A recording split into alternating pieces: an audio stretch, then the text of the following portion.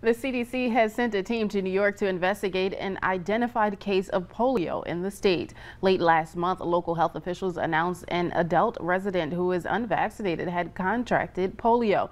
New York's Department of Health says it's the first case in the U.S. since 2013, and state health officials detected the virus in wastewater samples back in June.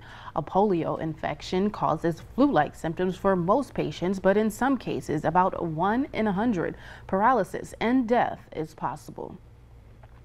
The FDA has approved a medication that aims to treat a newly recognized type of breast cancer called HER2-low. It's for women with advanced breast cancer that can be surgically removed or has spread to other parts of their body. In clinical trials, the window of time women could live with their cancer and not get any worse nearly doubled.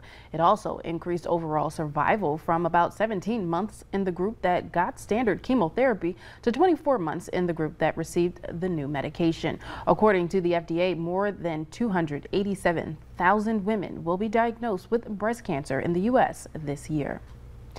Still ahead, the Jazz Fest took over Island Park today.